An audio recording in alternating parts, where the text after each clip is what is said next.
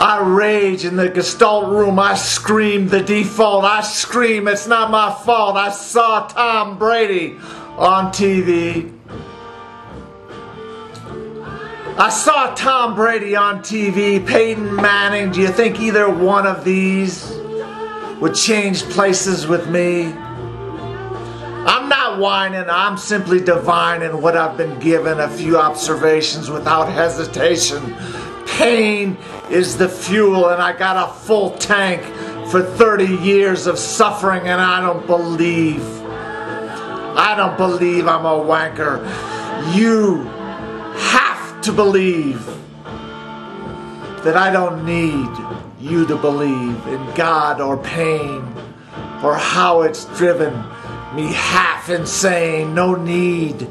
No need for you to believe in degenerative arthritis. I don't need you to believe in alcoholic catharsis. I don't need anything except for you to spell my name right and keep my quotations quiet.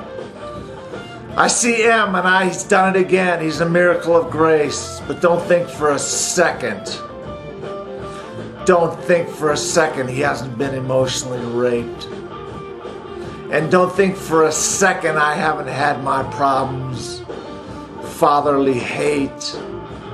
I didn't live on 8 Mile, but why listen to the kinks of my smile? The demons beguile, like it or not, spoken a word. Rapper poetry, I'm here to stay. No matter what you fucking gotta say. I'm not a gangster. I'm not straight out of Compton. I don't know all the hip hop cool, but I suffered like one. Sweet Jesus, I'm anxious. Psychotropic Anafranil to dull the OCD chills. Xanax and Ativan for panic I feel. Every time life reveals something PTSD, that's about me. Just a sliver.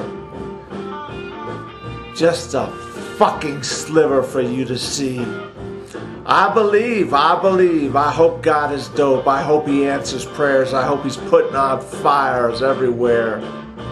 And if I must suffer, I pray for the buffer of the Holy Ghost. First, love me the most. I got nothing else to say. I hope things go your way. I hope you get a little luck.